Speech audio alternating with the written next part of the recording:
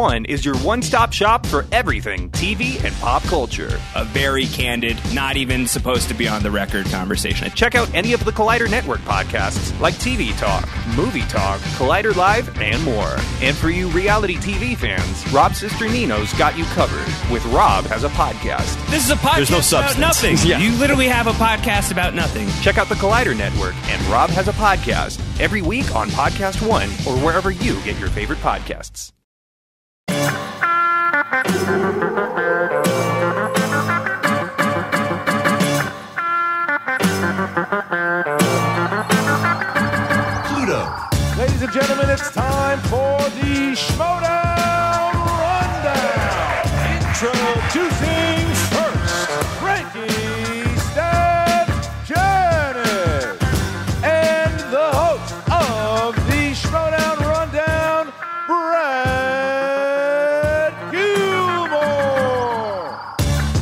Trivia Schmoedown fans? Welcome to the Schmoedown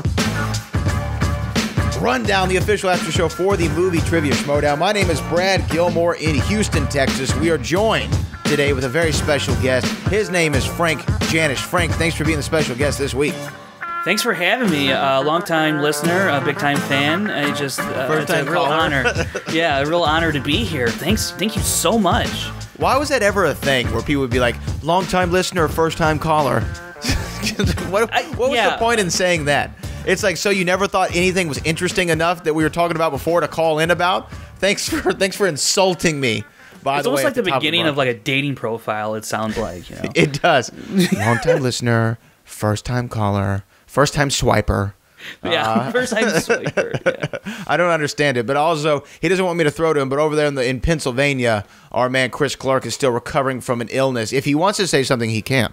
I can. You good? Yeah, this is fun, guys. Uh, you know what? This week is so exciting, especially for the live event that was just announced. Let's rock this sucker, Brad. As always, let's rock this to the end of time.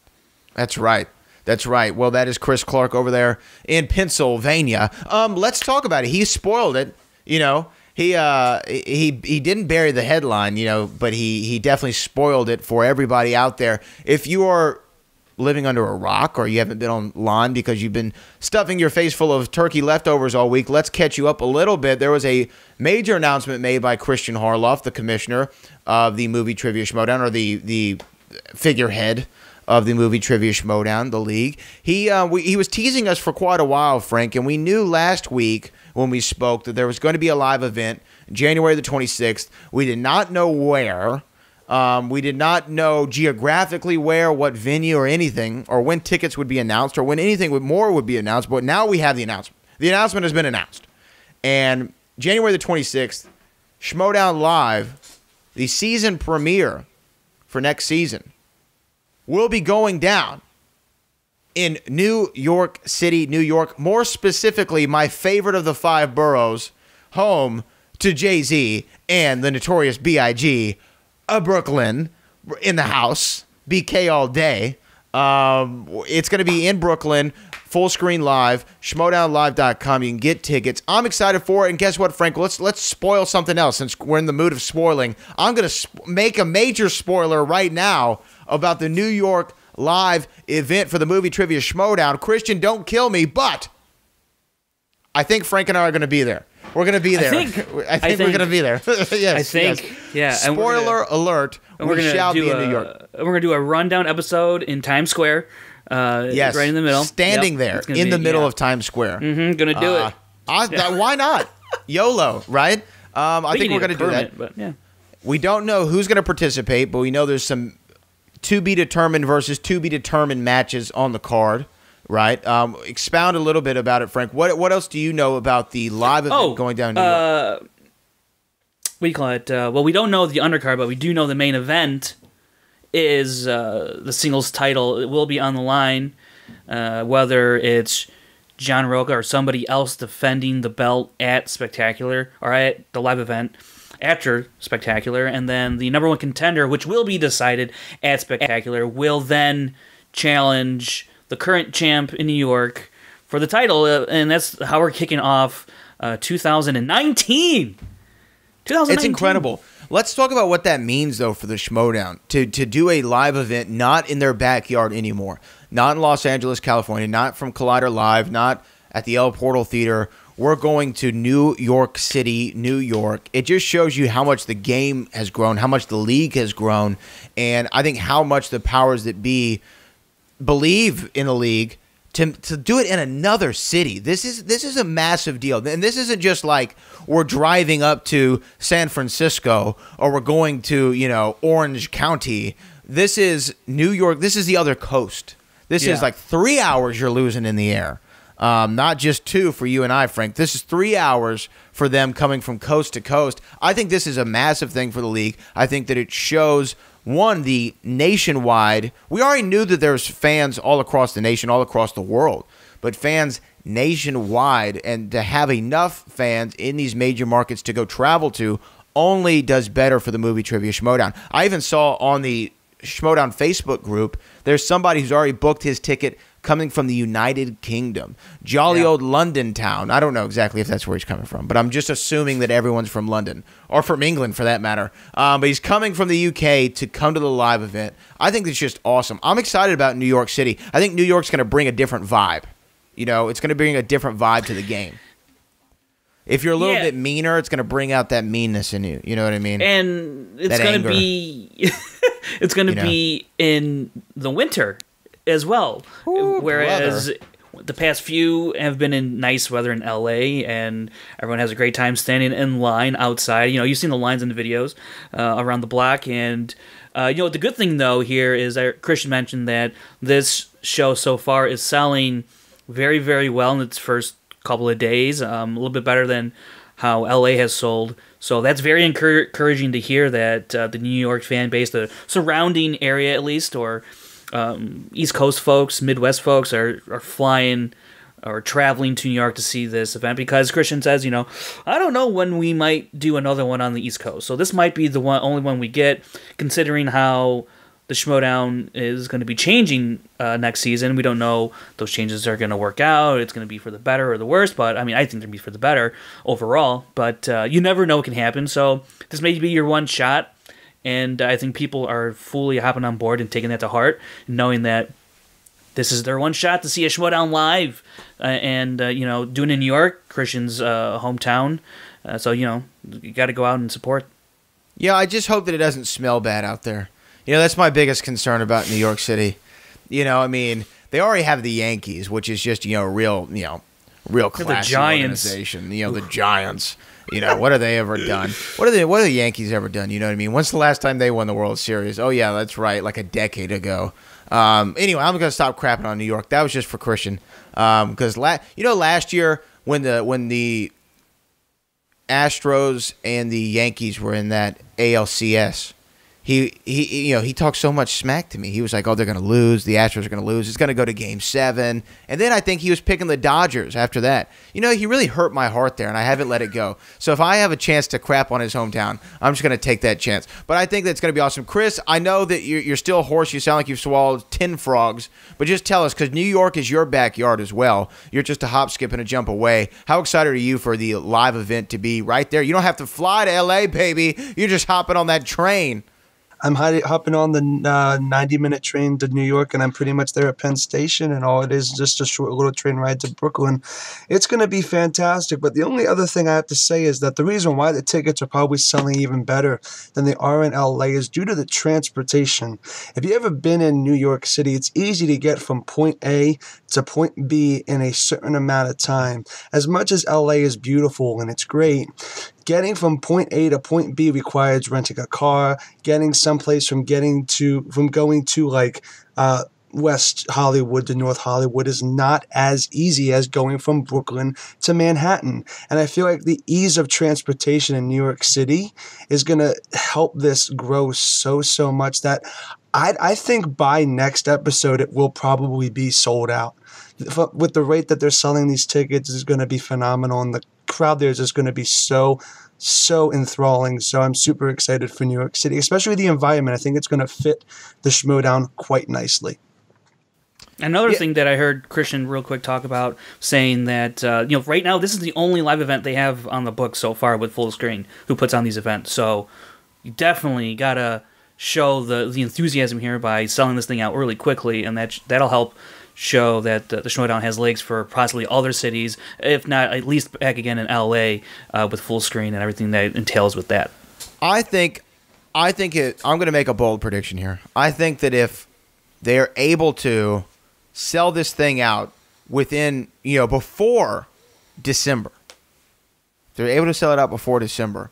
I think we'll see three additional live events next year, um, one in every quarter. I think we're gonna have another in LA. I think we have one in Chi Town, and then we we do the spectacular live in H Town. That's what I say we do. You know what I mean? And I think that everyone would really appreciate doing it in Houston. You know, I think that makes sense for everyone. But in all honesty, I think that I agree with you, Chris. I saw how enthusiastic people seem to be that it's on the East Coast. There's so many members of the Schmoedown community that are on the East Coast, including our own Aaron Turner. He's down there in Florida, but that's still on the East Coast. You know, it's it's it's not too bad of a plane ride to get up to New York City. So I think that it's going to sell out, no doubt. And it's just a matter of how quickly it does sell out. And I'm excited to see who is going to be the champion going into that live event because I think that's going to also dictate. Here's the thing, though for it to sell out before anything's announced would be awesome. But a great bump if ticket sales, you know, if they just have a few left, is going to be whoever walks into New York City as the champion and how excited that makes the Schmoedown community. Right now, the champ's John Rocha. There's a singles tournament this week. We're about to get into the first uh, a couple of uh, big matches that we're seeing that, that we talked about last week, Frank, as far as big uh, bracket busters. I think we're done here today uh, for, for this week for the Schmoedown. And I think that. Um, I'm, I'm excited to talk more about the singles tournament to see who the champion is going to be. But let me say this before we get there, before I ramble on anymore, before I say I think one more time. Frank, I want to talk about triviasd.com because triviasd.com has had a lot of cool stories going up as of late. And you had one that went up this week um, of Schmoedown stats that might surprise you. Was that, is Yeah. that is that correct? Yeah, I, I read through it. There were some very interesting things there. Uh, I know Kristian had a had an interesting stat. Rocha was on there. Um, for you researching that, tell the people one what it was all about and what was your most interesting stat.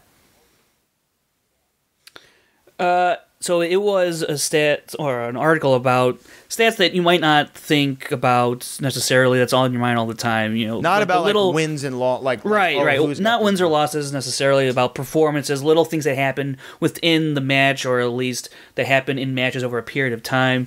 Um, one of those you brought up with Kristian, he had a run of six matches in a row where he answered four for four in the second round. Um, and he had a really good streak uh, during that. That was like part of his revenge tour ish kind of thing, and uh, that was one of the more. Was that him um, going into the championship? it was it ended at the Bibiani um, match. So then it was Snyder after that, and then it then it was uh, against Merle after that. So um, it was just just just before that. Um, and then some other yeah, it was really fun to just kind of go through the numbers, everything that I everything that I have recorded, and kind of fish through it and see what was popping up. And I had some ideas about a couple of things for the article, but then the one that really just kind of caught me by surprise was uh, about John Rocha and him using multiple choice. And the last 13 times he went to multiple choice, he's gotten it correct. Every time, right? Um, Every Yeah, time. That, that was 13 crazy for one to read. 13. 13 Yeah. for 13, and he's 13 of 14 overall, which means he missed his first attempt at multiple choice, which was against Josh Macuga back in his second match in the Collider era. So uh, to be 13 of 13 using multiple choice, um, that's and that's over. I, th- that, I think that was over how many matches? A lot, or 16, 14 matches. I think it was something like that. Um, Who's the Yeah, most tenured sh- competitor? Who's played the most matches? Right now, it's between Macuga.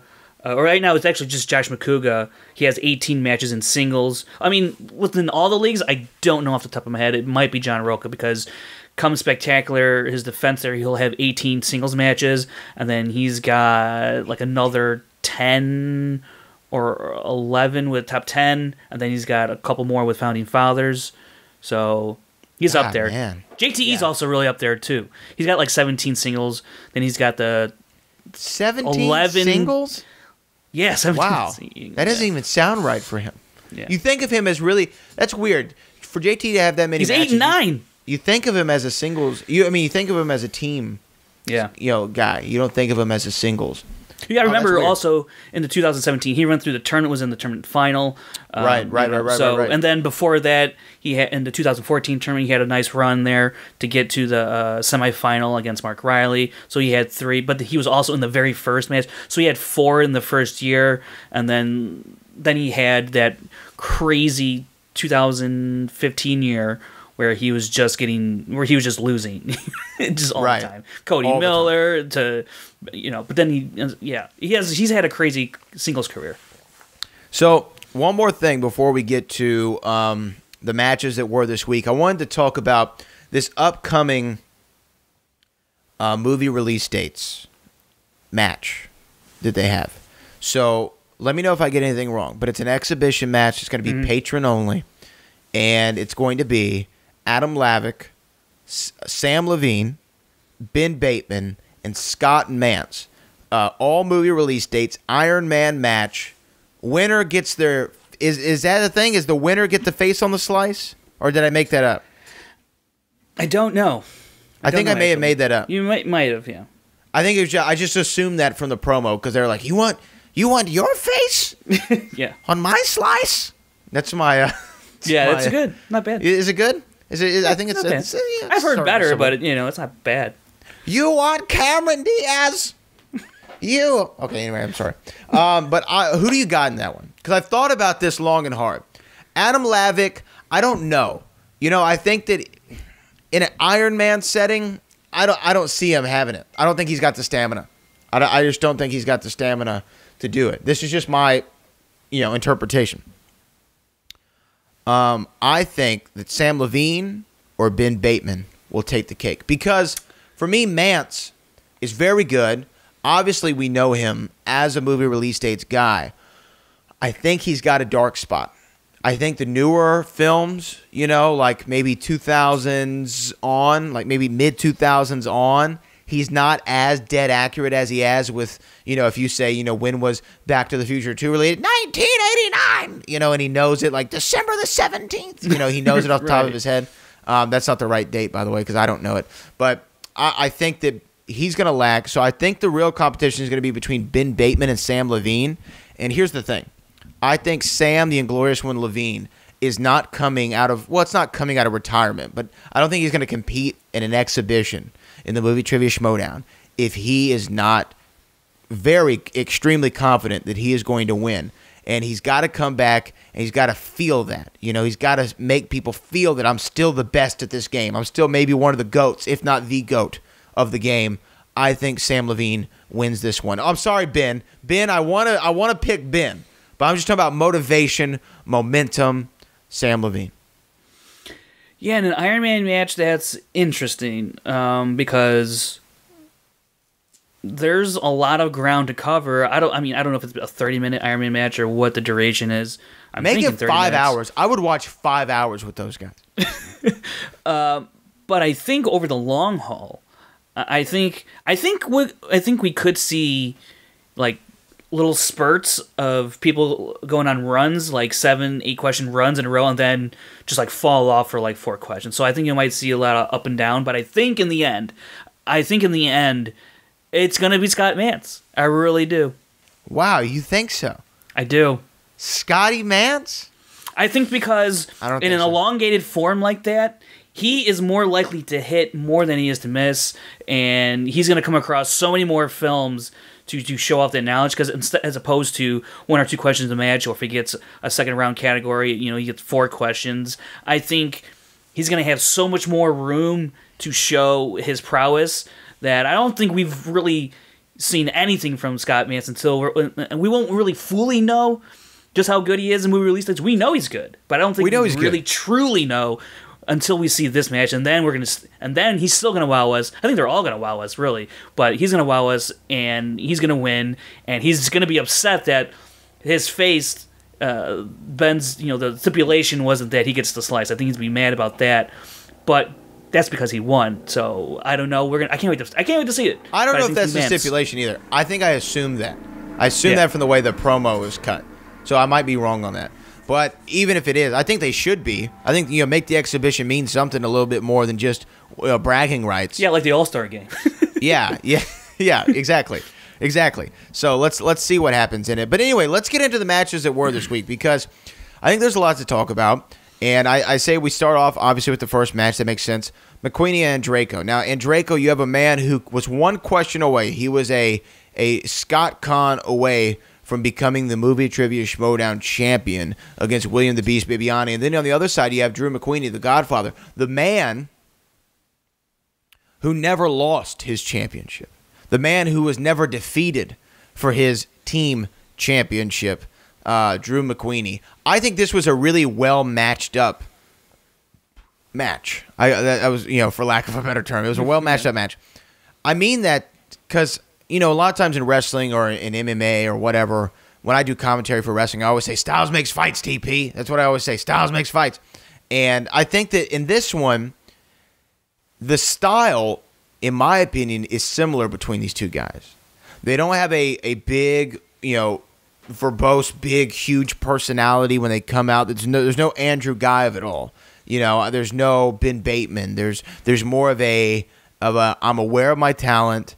I'm super confident that I know a lot of movie trivia, and you kind of come out and they're a little bit subtle with it. They have this subtle um, veneer of confidence that they come out with, but I, I feel like they have a similar, and, and you'd know better than me, but I think they have a similar disposition and also a similar um, knowledge base. I feel like they kind of are into a lot of the same things. Maybe Drew McWeeny a little bit more classics and stuff like that than than than Andreyko, but Andreyko can hold his own in that. So I thought that they were evenly matched going in. Am I wrong in that assessment, Frank? I thought they were very evenly matched, and I can point to the stats and say and say that Andreyko coming into the match was answering sixty nine percent, Drew McWeeny answering seventy one percent, so not that much of a discrepancy there. Uh, but with Andreyko, I think we talked about talk about this in the past a lot. Is he can be very up and down from match to match. You never know what you're really going to get with him. Drew McWeeny he's generally pretty good. He's generally on the same level every time he's out there. It just depends who he's playing against. Uh, so knowledge wise, though, I do agree that I think they're they're very similar in a lot of ways, and there's there there wasn't going to be any glaring discrepancies between the two or differences between the two. So yeah, I think this is one of the better matchups you could get for a first round match. Again, it's in an eight person field, so you're all you're already into uh, quarterfinals if you Right, right, right, right, right. 16. So this is where this match should have been if you were if you extrapolate and did all Here's that the stuff thing, right. though. I think that if they were on opposite sides of the bracket, it would not be inconceivable to this be your final. Like Oh, it wouldn't be inconceivable. This could have been the final. You know, um, I, I think that they both have the juice to get there. So I love that it was a first round match. You know, this is a big one. Um, so let's talk about it. Let's get into round number one. Round number one, they ended in a dead heat, six to six. Um, they kind of even they they walked on the same questions. I think one was the Mark Rylance question in in round one, if I remember correctly. They both got that Yeah. one wrong, and and then so they were very evenly matched. Like I said, this is kind of what I would have seen happening um, um, going into it. This is what I would have predicted happening. What did you think? What was your assessment of round one? Yeah, it's fascinating to watch them both answer everything correctly. Their, those questions that they both got correct, and then get their last two wrong, um, pretty much in the same fashion. So right there, it told you, um, you know, we're in for a hell of a hell of a match here between these two. this is where the drama though heats up here in round number two. Um, let's go to Mark Andreyko first. He um, he spun thrillers. Very interesting, thrillers. Um, we've seen this kind of this category to me, Frank, is still a, in my opinion, it's still a bit of a question mark because I, I I guess when it comes to the categorization of some of these films, I don't know how you do it. Like, what's the difference between action and adventure? I, I wish this is one of the times I wish Bibiani was here. Um, one of many times. I, I said that like I don't like him here. I'm one of many times that I wish Bibiani was here. I wish he was always here.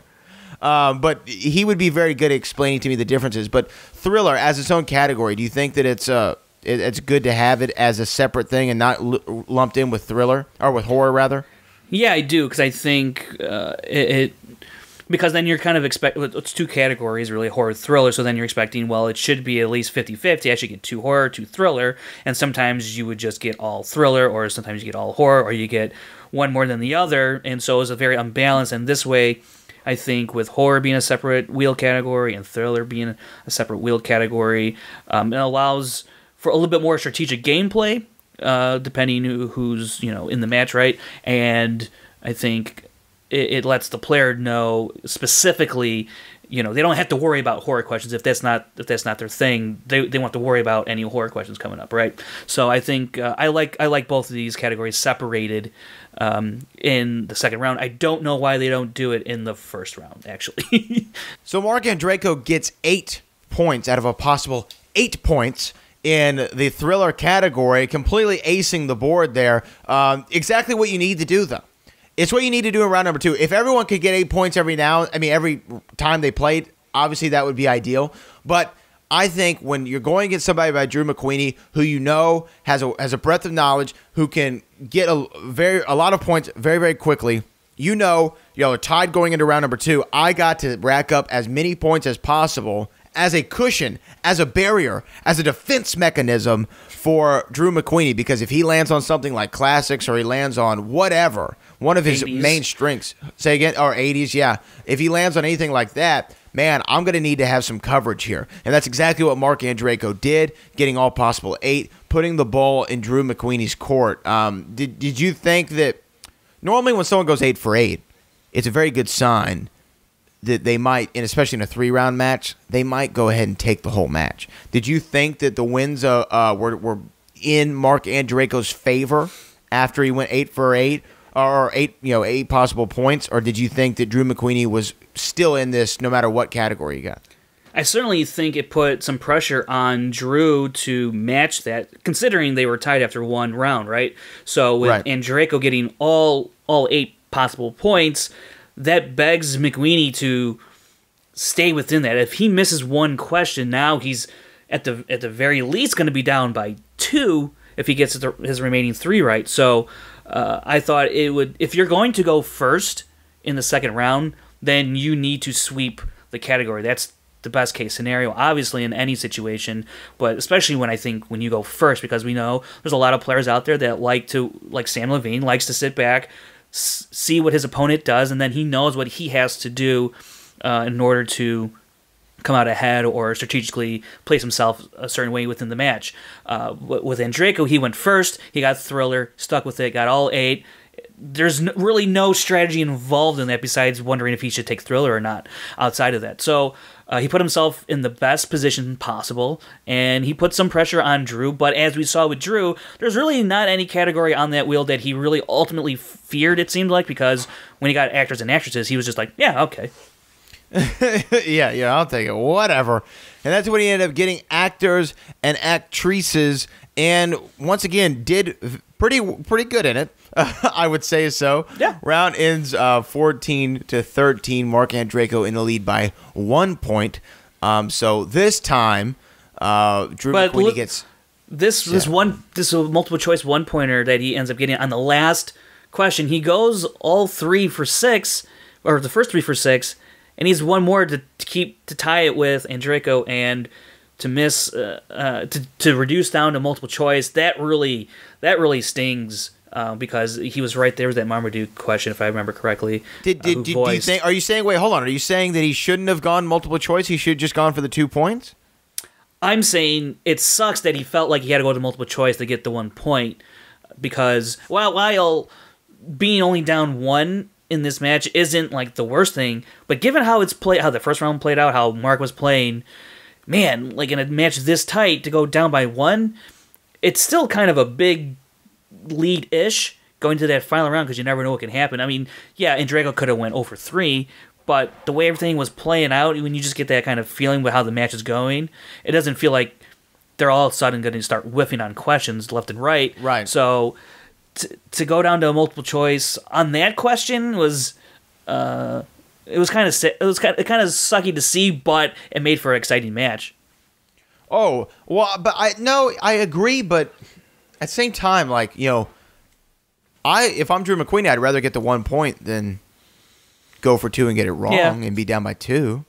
I- I'm curious to see where how close he was to even if Owen Wilson was even in his mind or not. Um, that would shed a little more light on how I would feel about him going multiple choice overall. I guess. Yeah, I mean, I, it's not like I don't understand where you're coming from. Just for me, it's like, well, if I'm down, if I'm down one point going into round three, it, it's better than being down two points if I swing and miss because then when you get into round three, okay, if I get my two pointer right, we're tied. If he gets his two pointer, you know, wrong, then we're still tied, and then you know I'm back in the game. You know what I mean? I, I don't know. I think it's just kind of. Or no, if I got my two pointer, I would have been up one. I'm sorry. That's what I mean. Yeah. I mean, in Brother, the end, it really didn't matter. yeah.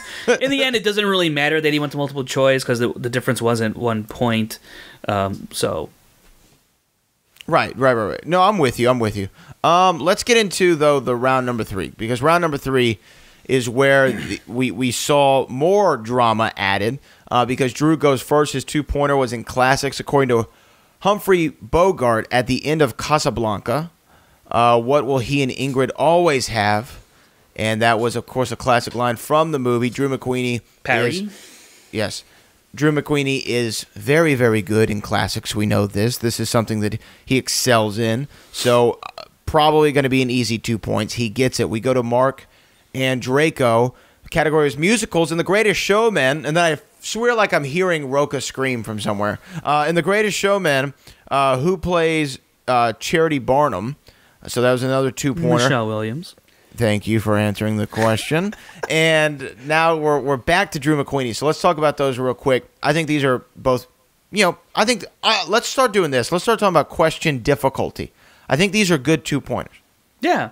I thought the actually the Casablanca one was a little more difficult just because I had to like really rack my brain for that one. Even though I've seen Casablanca a few times and I like that movie a lot, I still have to go back and think well, what is it that they have? You got kind of like think a little bit more about the. You got to think more on Drew's question than you did on Andreyko's. I think is what I'm trying to say. I feel you. I feel you. So let's get to the three pointer. Three pointer action adventure. The action adventure. The Raid series takes place in which country? I had no idea for this one. What was the answer? I believe it was Indonesia. I haven't seen the raid, so uh, Indonesia. but I think it was Indonesia. Lovely. Uh, the three pointer was horror for Mark Andreyko, and what was the last name of the paranormal investigating couple in The Conjuring? These are definitely three point questions. Yeah, I'm going to say that very much so. I mean, I think that this three pointer for horror could even borderline on a five pointer. I don't. mm, I What is the Sure, I last name of the paranormal investigating couple in The Conjuring? I suppose. I mean, I guess you could just read that off of you know IMDb, you know what their character names are, but still, to me, that's kind of difficult. That's a deep pull. Um, and then the raid series. I, I mean, I think that's a fair three. That's a fair three. So then we come to, or we're back at Mark Andreyko, I believe. Correct?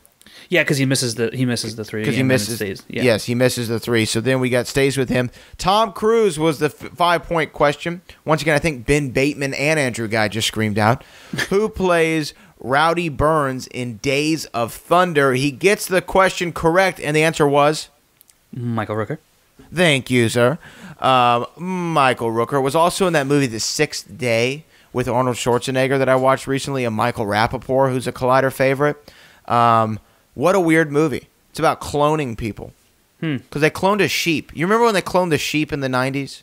Yeah, was it uh, Sally? I don't know what was this. Dolly. name? I think it was Dolly, something like that. Yeah. You think that. Whatever happened to Dolly? Do we know what happened to Dolly? Uh, she's. I think she's in a home somewhere. Is Dolly in a home? Does sheep live Yeah. that long? Because she'd Oh, be yeah. 21 right now. Yeah, yeah. and, You know, sheep live for you know eons, like tortoises. Do they really? Or no? You're you're uh, you're you're completely. Be frank with me, Frank. you be Frank. I'll be Dean. No, tell me. Do you know anything about sheep at all? I know plenty of sheep. I see a lot of the, their commercials right now going on, and uh, yeah, Okay. I, I'm not.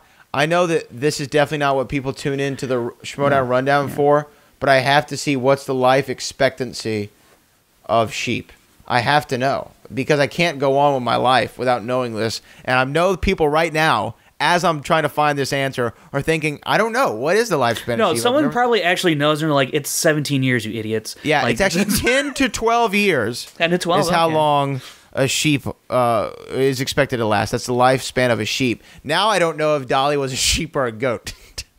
Which one was it? I don't remember. Well, goats live for 18 years, so it, just in case you wanted to know. So she could theoretically not be alive, but it's probably it's probably a safe bet. Anyway, Michael Rooker was the answer to that question. As we move on, guys, I'm telling you, it's been a very long holiday week. I've I've overworked. As we move on, we get to the five point question for Drew McWeeny.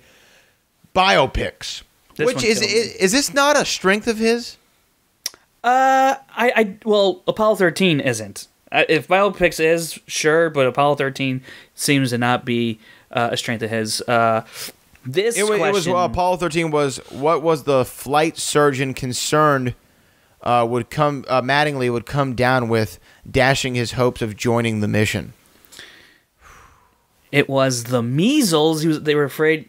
So, I mean, it's it's curious. I love this movie, so it was a really easy question for me. But there's a scene in this movie where all three of them are in a. que- It was a, uh, what do you call it? Bill Paxton, Tom Hanks, Mm-hmm. and and uh, what do you call it? What's his? Oh, jeez, I can't even think of his name right now. Ed Harris. Uh, no, not Ed Harris. Wow, I uh, I can see his face. Uh, Lieutenant Dan. I can, why can't I think of his real name? Oh, I don't know his name. Gary Sinise. There it is. Oh, there you go. There it is. Gary Sinise. And they're all sitting in a circle. And he- the way the scene ends is that he's like, he stands up and tells both of them, he's like, I don't have the measles. I'm not going to get the measles. And that's the end of the scene. So I thought for sure, like, that was a pretty nice five five pointer to get, but he lost on it. And, and that's just, you know, how this game goes sometimes. I prefer Space Cowboys. Um, but that is the end of the match. Drew McWeeny falls to the android Mark Andreyko, and Draco moves forward in the bracket into the, I guess it's the semifinals technically. Moves into the semifinals. Is that right? Yeah. Yeah. The semi. Yeah. Right. Yeah. Moves into the semifinals, and we're, we'll, we will see what happens there, and we'll get to the man who. Um, now wait, how's the bracket play out? Who does who does Drew McWeeny? I mean, who does Mark Andreyko face? Mark Andreyko is going to end up facing the winner of Ben Bateman and Clarke Wolfe. Right. So this is on the left. Dun side of the dun bracket. dun. Dun dun dun dun. So we will see how that plays out. Now let's before we get to the second match. And hard fought effort, obviously, by both men. Final score, I believe, was 21 to 18. Mark Andreyko wins on the right path, on the on the winning path back to the championship. He's got a shot. He's got a shot to get. Has anyone ever had two championship shots in one year uh, at the singles title? At the singles title, Yeah. uh, I guess you could say Rocha back in 2016 because he beat Merle and then he then he, I guess you could say weaseled his way into that triple threat match at Collision. So that's two shots at the belt, even though he lost it to Reilly before that. So you could you could say that. Other than that, I'm Okay. trying to think if anybody else. Like, um, I can't think of anyone else on the top of my head. yeah. Who got two shots in one in like one season, I should Right, say. Right. Yeah, yeah. In one season. So um, Mark Andreyko could be the second man to do it. Uh, he advances into the semifinals. Now, before we get to Chance versus Irwin, because I have a lot to say about this match. Real quick, Frank, they Yeah. talked about it on Collider Live. Just tell me, you're not down for the Back to the Future reboot. You know, after listening to them a little bit, you know, I think the the the the, the definition of reboot and sequel needs like some defined parameters because a sequel is a a film that comes out maybe two, three, four years later, whereas a reboot's like it's been fifteen years or twenty years or thirty years later, like a reboot. So the way Kristian was describing it, it depends who's on board, who's attached to all of that. Like if like if it's just if I have no confidence in the people who are producing or directing or, or starring in it, then that could help me sway. That could help sway my opinion on it. But I wouldn't. I, I'm not asking for this. I'm not clamoring for it. I'm not one of these people that's saying I would love to see a Back to the Future remake or reboot. Uh, if it happens, it happens, and then I have to see who's involved, and then then I can make a better determination. But this is not something I'm looking for, you know. Yeah, I think I think if if we got it, I wouldn't mind it. And me, I'm like the biggest Back to the Future fan in the world. I'm staring at sh- my shelf in front of me that has all my Back to the Future memorabilia on it. I'll post a picture on the Twitter at Brad Gilmore. But um, I think that if they do it, they do it. I'll watch it, and if I enjoy it, I accept it. If I, I tell you don't, what- it doesn't exist. I tell you what, if they do it, it it better be better than any of the three. It has to be better than one of them. It has to be. It can't be the fourth best one of four. It better be better than two or three. That's depending a on depending bar. depending depending on how which one you put above one another. Because I know a lot of people like three, a lot of people like two, but I think I'm back on the You know three train. I think three. I think is, so. is I better am than two. too. I think so too. I'm Yeah. definitely on back on three. Um, I also think though, Train, I to- you to- there too. Yeah, I think that a reboot. I, here's a better example because I know Kristian gave uh, the Force Awakens as a reboot. I think that's a sequel. I think that's a sequel. I think a reboot is But like I, do a like his reboot's- point. Here's here's the thing though. A reboot is not a remake of a film, right? So it's a it's a, always a different story in a reboot, right? I think that a reboot is whenever they change uh, the guy who plays Bond. So going from Pierce Brosnan in Die Another Day to Daniel Craig in Casino Royale, that to me is a reboot because you're changing the character, you're changing the guy who plays the character, kind of the style of the franchise, but still moving forward with an additional installment in the franchise. To me, that's a reboot. Hmm. That's interesting because that kind of that kind of conflicts with my own personal definition of a reboot, where it's a sequel takes place. Well, I'm going off the Oxford definition, of course. Oh, No, oh, yeah. oh, Oxford. Oh, Yes. well, hmm. the Webster Merriam or Merriam Webster. Merriam, yeah. yeah. What's your personal I liked- definition? Well, of a, of of a of a reboot would be a movie in a in a franchise that's now being made ten years after the last one was made. A sequel has to take place within the next five years. Uh, Five of the last- years. five years within like comes out within five years, but at the same time, Kristian's point was that a sequel is a direct continuation of what just happened in the first one, whereas The Force Awakens wasn't really a continuation of what happened after Return of the Jedi. There's a lot that happened in between that we didn't see, so therefore it's a. I see his point as it being a reboot, but chronologically, if it, you go from six to seven, then it then it really shouts at you as a sequel, but technically it is. I can see it as a reboot as well. Uh, Star Wars is a weird is a weird thing. Like, Does that make the prequel trilogy a reboot? see, that's yeah, it's interesting though because they call it a prequel but not a reboot of the franchise because you, you- that is interesting. You know, I mean, it is what it's a three-quel trilogy, whatever it is. But on the the point of the reboot, you get more stories out of the Back to the Future stuff. So, as if you get more, if you get them going to the Revolutionary War or something in the reboot, that would be something completely different and awesome. So, I mean, as long as they do it right, you guys have really nothing to lose, only to gain. And if they do it, Yeah, at that point, you the, have the Crystal label doesn't matter what it Yeah. is. Yeah. It, yeah, if they do it bad, I'm just going to treat it like Ghostbusters, the, the the new one that came out like two years ago. That is a garbage film. I don't know if y'all saw that movie. I have not. It's complete garbage. It is a trash can of of of dumbassery. Um, horrible, horrible, horrible, awful. Um, anyway, sorry. Now let's move on to our next match from this week. Let's talk about Ethan Irwin versus Chance Ellison. Frank, we spent some time talking about this last week. We said that this was a a very, I thought on paper, a very interesting match. I believe you gave the edge to Ethan, correct? I did. I did Yeah. because you know, Chance he's only been in teams, and he performed well in teams. But Ethan, you know, he not only does he have age over uh, Chance, but he's been in some pretty big matches already in the singles division. He's played solo, um, and you look at his accuracy rate coming into the match is 83% chance in teams and individual questions between rounds one and three. That's how i um, define that. Um, he was answering 74% so like he's no slouch but ethan is just on a different level than this kid literally and it, i always saw it going ethan's way but I would not have been surprised if Chance pulled it off because Ethan has shown some weaknesses and they kind of show up here a little bit in this match with him. So it's not like he's in like Ethan has a loss on his record, so he can be beat.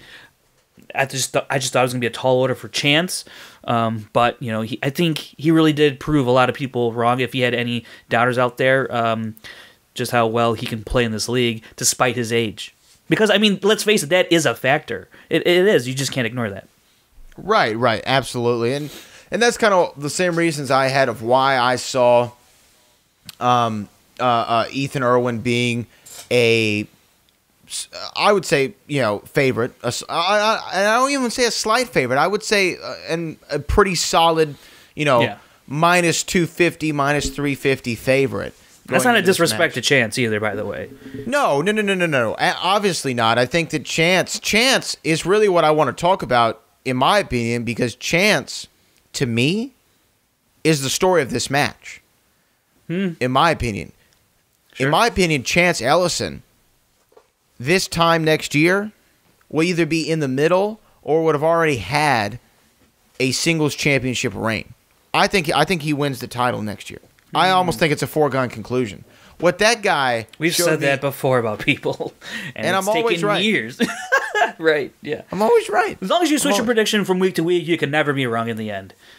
Hey, as long as I bet, I'm one of those guys who, when I go to the roulette table, I, I bet on every single number. Bet on red and black. Just Red and black, double zero, zero. I put on every single number, like one penny chips on every single number. congratulations, sir. You won two cents. Eh, I guarantee a winner, brother. Guarantee a winner. That's all I care about. Ooh, yeah, trying to get the hot though, man. So, um, I think that Chance Ellison was so impressive in this match. I guess because I expected great play from Ethan. I assumed that he was going to give me top notch, high caliber play. I didn't know in a single setting against somebody the caliber of Ethan Irwin if Chance Ellison was going to rise to the occasion. And he did. He definitely did. To me, this was to me this was a lot like Rocky 1. You know, Creed is out this weekend. Creed 2, I haven't seen it yet. Frank, I don't think you've seen it yet. Not yet. But this reminds me of Rocky 1. This is Ethan Irwin is Apollo Creed. He's given the Italian stallion a chance, no pun intended, to go out there and prove himself to the world. And to me, Chance absolutely did. So let's talk about it. Round number one, six to five is how it ends. Ethan Irwin up. Anything stick out to you about round one? Yeah, uh, Ethan Irwin. Ethan Irwin. He misses on animated, and Bum bum Chance, bum. Shocker. and Chance gets it right. But then, in the '80s, was a was it Footloose question? Um, Ethan Irwin gets it right. Chance gets it wrong. So you can already in you can point to this little two question section as uh, the battle of age right there. You know, perhaps Ethan, although before this match, animated wasn't something that he's particularly uh, strong in, but with Chance, you know, he as we saw in round two with Pixar, uh, I think clearly knows his animated as well as Pixar. So, and then you get into 80s, that's going to be a little bit more tougher for Chance because he literally has to go back like 15 years before he was born and watch movies that or study movies that uh, he wasn't around for. So uh, it was interesting to see it, but Chance getting five points is is an average is an average play here in the in the singles league. Ethan Irwin with six. Uh, that's usually it's actually kind of right around his average. He's six or seven uh, points for him. So um, I thought Ethan would get in that seven point range, but six nonetheless is good enough to have a one point lead over Chance. Yeah, I mean, five points isn't blowing anybody's socks off here, but I, I definitely think that six to five going into round two, Chance got to feel like he's got an opportunity. Oh, yeah, I didn't want to say Chance there. Um, talk to me though. How old? Do we know how old Chance Ellison? twenty one. You know, you just turned twenty one. Yeah, so I think 20, that 21, Yeah. that's definitely something he's going to have to study up on a little bit more. Or those older films? Uh, I mean, I'm I'm not I'm not that much older than I'm him, sure he's seen the movie, just couldn't pull the answer. I know, but I feel like haven't we didn't we see this in some of the team play when when the movies would go a little bit further back than you know last thirty years? There might be a little bit of trepidation on Chance's part, you know, of uh, I don't really know. I mean, twenty one. That means you're like 1998, 1999, 1997. Mm-hmm. You know what I mean? Jesus. every good movie ever made was already made by then. You know, you got a lot of catching up to do, brother. Uh, every good film ever was made. It's fun for me to have somebody younger than me in the space too. You know what I mean? That's- I don't want to be the youngest guy always. Um, so I appreciate you, Chance Ellison. But going six to five, I think that you got to feel you know pretty decent going in there. Now round number two, brother, brother yeah. so good. So good. This round was so good. Uh, we go to Ethan Irwin. He is like a hair away, just a, a small amount of inertia away from getting spinner's choice. Oh. Lands no, was it a, was it opponents or spinners? no, it was Spinners. I think it was Spinners' choice. Yeah, yeah, yeah. Very close to getting Spinners' choice. Um, now you have me second guessing. Yes, it was Spinners' choice. Hmm, Okay. Wasn't it? I believe if you say so, uh, we'll hear about it in the comments how wrong we are or are not. That's all I've heard this week is how much of an idiot that I am. Eh, So it doesn't shock me. You know, add Brad Gilmore, by the way. It doesn't shock me that I'm going to get any Send all insults there. Yeah. Send them to me. I've gotten them all week, by the way. You know, shout out to those wrestling people, brother. But um, I uh, I, I saw him get spy movies. I always like when this category comes up because I know I'm going to get a little James Bond action in there, and we did. But I didn't think that Ethan Irwin would take it, but he did. Um, was this a shocker for you? Spy movies seems to be a category that, unless you're Mike Kalinowski and a handful of others, you kind of like to gingerly spin away from. Ethan Irwin sticks with it. Does he have? Um, you're the stat man. You know the categories. Does he have any prior success in this category? Is there any indicators that he'd be uh, very good or above average player in this category? Whole transcription because I, I want to say yes, but I don't know for sure. Because I know he did land on it, but I think he might have passed it up. Uh, I'm looking back at. Well, again, while you while you look at that, I okay, so say- actually oh, he did ahead. he did pass it up once. He passed up Spy in the um, Lon Harris match, which um, he came out on top, twenty four to twenty. It was a really high scoring match. Uh, but he skipped Spy and ended up on Thriller. So he's passed it up once before. Interesting. So I wonder why that category was attractive to him. I don't really know. I would have liked to ask him, "Hey Ethan, what up, dog?" I wonder why he chose that one. Uh, Do you have any do you have any guesses, Frank? Because we had like I said, if he's passed on it before, maybe he thought, well, enough people have passed on this for quite some time. Maybe he'll have some, you know, cher- I- maybe I can cherry pick some of these questions a little bit. Maybe it'll be surface level. I don't know. What do what do you think? I don't understand the mentality there. Maybe he did see Pixar on that wheel and said, if I get that, that could be Dunzo. You know, for. I'm, I'm it. Yeah, I, know, I would rather it. take my chances yeah. and get a weird man from Uncle question than you know four movies about Cars three. Four, I mean, four questions about Cars three and Right. It's a Bug Life and whatever else is in Pixar. The Good Dinosaur. You know, you really could have. He, he really could have screwed the pooch there. So that is a good. That is a good point. Um, but he does it phenomenally, as we said, getting every question correct. Um, what a what a what a round from Ethan Irwin. When I saw him do this in a category that I was unsure that if he was talented at all in, when I saw him do this, ooh brother, did I think that he's going to be a major problem if he were to get if he were to get a W here? I was thinking this man's going to be a major problem in this tournament, and um, we'll find out what happens in the third round. But great, great play, and then Chance Ellison, he gets spinner's choice.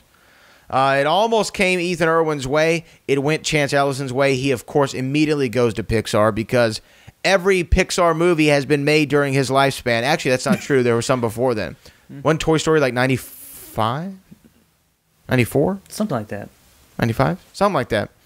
So he goes, though, all eight points in Pixar and, and gets us 14 to 13. He even he knew some of these ones that were just.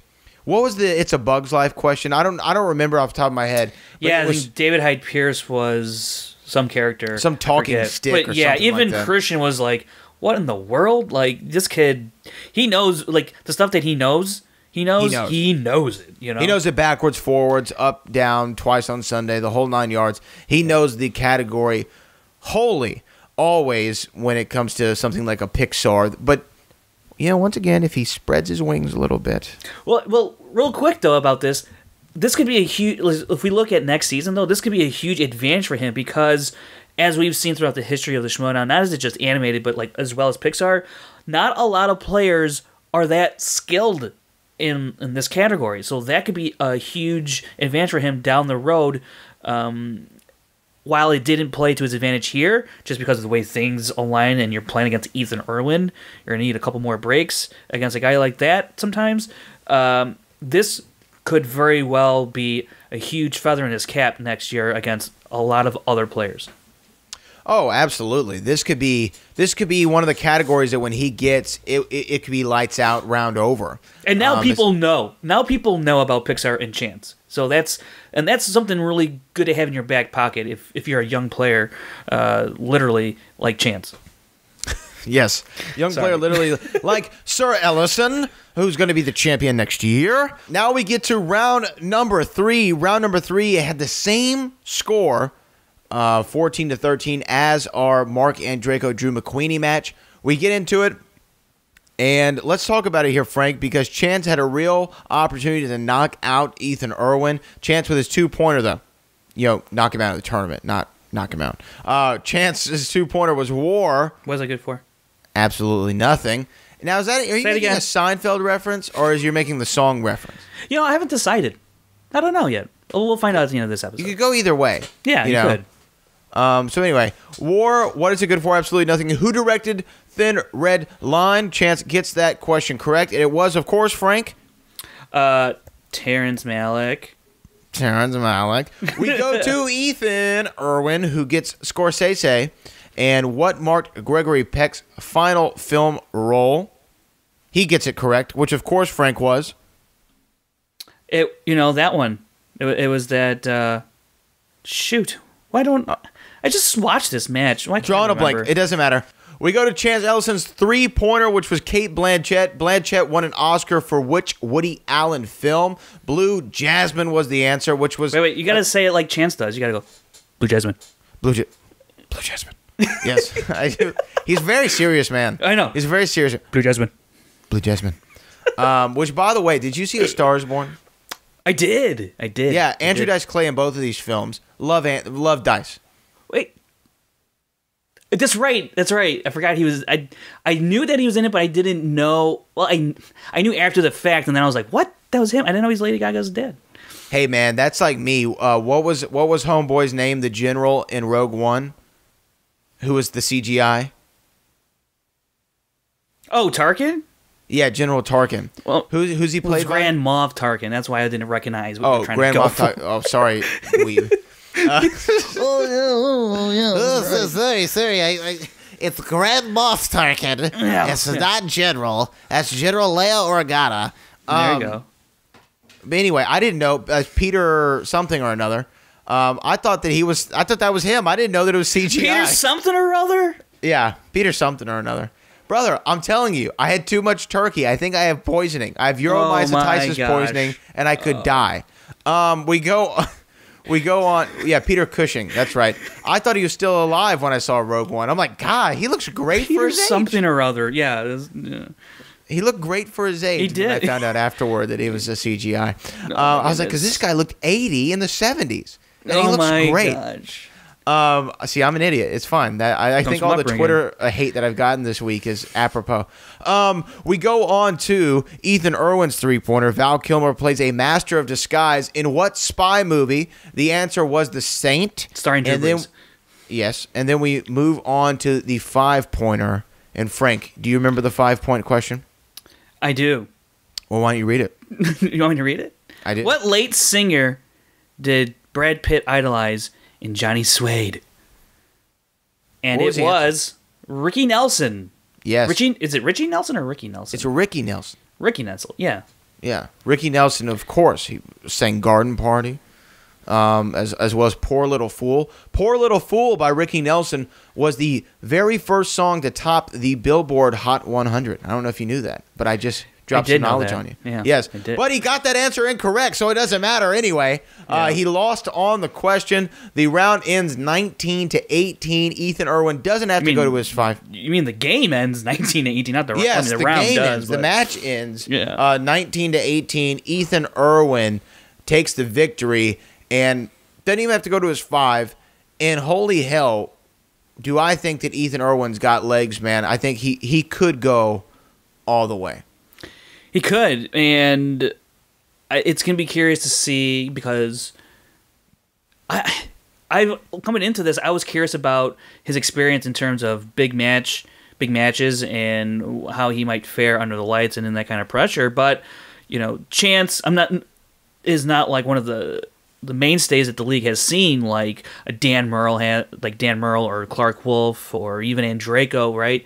Um, to this point, so it's it was good to see Ethan play this way, which leads me to believe that it really just doesn't matter. He's just up there, and he's all he, all he cares about is what's the question. I'm going to answer it, and and that's all there is to it. I I don't know how much strategy he really needs if he can play like this. I think um, because he's so good in round two. It doesn't really matter what kind of strategy he tries to employ because he literally answers them all. I think I said in the stats segment he's only missed like three round two questions in the for the entire year, for the entire year. So It's incredible. it's insane what he can do in the second round, and that's where a lot of these games are won or lost for a lot of players, and that's really no weakness. That's probably the strongest part of his game is round two, and that's a dangerous thing for everybody else. Absolutely. I think he's I think he you know what? He might be my pick. You know what I mean? He might Here be we my go. pick. Here we go. He might be my pick, Did you I just might- say it was me and Draco? He could. Didn't you just say that? I said he's got he, you know, he's got an opportunity. Okay. I didn't say He's got an opportunity. He's in the tournament. Yeah, he's got an opportunity. He's in the. He's got an opportunity to do it. I'm picking. My pick is Yeah. Ben Bateman. Um, so They're all one. Oh. They're all one. Yeah. guys, this has been a long week for all of us. We've had holiday. I've already put on about six pounds. I've watched Home Alone one and two. Uh, I've really settled into this week. Had a break for this Saturday. But let's talk about one thing, Frank Janisch, before we wrap this up. Thanksgiving is already passed. But let's talk about what we are thankful for in terms of the movie Trivia Schmoedown. One thing, I'm going to pass it around. I'm going to start with Chris Clark. Chris, what are you thankful for in the terms of the movie Trivia Schmoedown? Honestly, I'm thankful for the entire community that Kristian has kind of put together, the friendships I've made, the people I consider family that aren't blood. You guys, uh, the friendships I've made with. Obviously, we're not the family that's not blood, Frank, but continue. I I, I said that you, I said you I'm just Oh, no, I meant you guys. I meant uh, everybody at Take Three. Uh, the friendships I made with w- the Beast Bibbiani, Witney Seibold, Robert Meyer Burnett, everybody. The trust that I have with the Collider crew. I have a lot of passwords. uh, I, I, I have a lot of power. Yeah, uh, but they, they give me a lot of uh, they, they, they've given me a lot of trust, so I, I'm thankful for all of that and, and how they, they brought me into the the fold. So I'm thankful for the entire community that Kristian has created. It's been a blessing, and I can't wait to rock it for the future. Hey, can somebody out there who's talented with Photoshop, whether it be Brian Ward or somebody else, can somebody Photoshop Chris on a computer that says they give me a lot of passwords or I, have, a lot of passwords? passwords. I have a lot of passwords. I want that on a somebody- hat, on a shirt, on a backpack. Oh my goodness. I have a lot of passwords. amazing. Needs to be everywhere. Oh my goodness, do I love it. Frank, what what are you thankful for? Well, you know, it, Can you name that this that's the name of this episode by the way. I have a lot of passwords. But I have a continue, lot Frank. of passwords. Yeah, uh, yeah. I'm really thankful for both of you guys. Really. Um, Hey.